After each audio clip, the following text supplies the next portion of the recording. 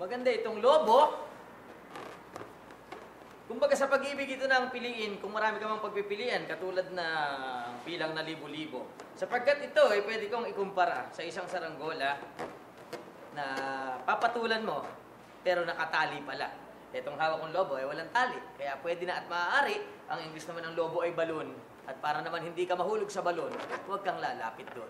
Kaya dapat, alam mo kung saan ka dapat nakatungtong.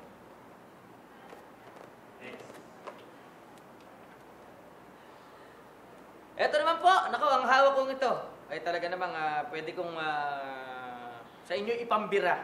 Sapagkat ito ay pasakit sa mga taong asyumera. Sapagkat ang mic ay para sa singer, ang damit ay para sa hanger, kaya huwag kang mag magiging feeling abanger nang hindi naman kayo bagay forever.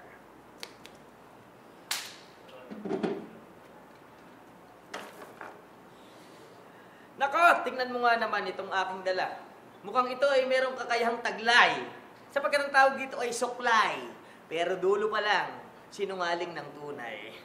Kaya naman, huwag nyo basta-basta itong ibibigay kung wig lang naman pala yung nasa ulo niyang taglay.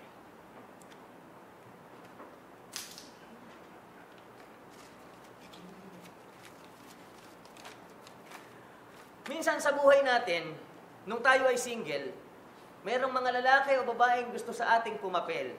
Pero huwag kayong ah, malulungkot, huwag rin kayong matatakot sapagkat ang papel ay talagang nakatakdang masunog at malungkot.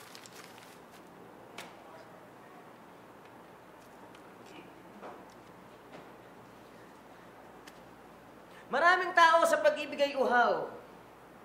At maraming eh, hindi natutuwa o hindi napapawaw. Marami ring nagrereklamo. Bakit ganun ang nangyari? Parang mundo nila ay nagunaw. Huwag na kayong magtaka. Yung dito nga sa piso, wala na rin yung kalabaw. At yan po ang inyong narinig. Ang mga hugot sa mga bagay-bagay na pwede kayong tumibay, pwede kayong bumigay. At ready na ba kayo? Halina kayong tumagay. Ako po, si Prinsipe Makata. Nagbabalita.